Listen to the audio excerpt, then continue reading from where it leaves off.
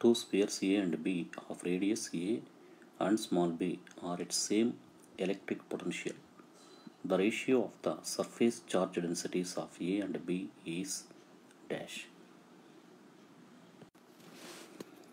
Generally electric potential due to the point charge V is equal to 1 by 4 pi epsilon naught into Q by R.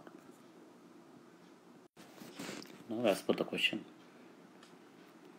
electric potential due to the two spheres are equal. VA is equal to VB.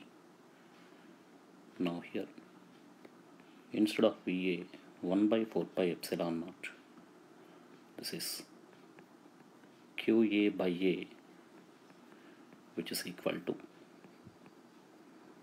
1 by 4 pi epsilon naught into this is QB by B. 1 by 4 pi epsilon naught get cancelled. Now it is QA by A is equal to QB by B. So here instead of QA let us write sigma A into A square. That means we know surface charge density sigma is equal to charge per area. Or q is equal to sigma into a. Q is equal to sigma into area of the sphere surface area. 4 pi a square.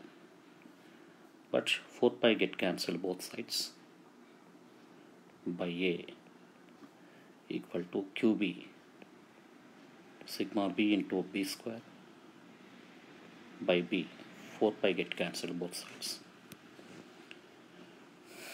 Therefore a a square b b square get cancelled. So this is sigma a into a is equal to sigma b into b. Finally sigma a by sigma b is equal to b by a.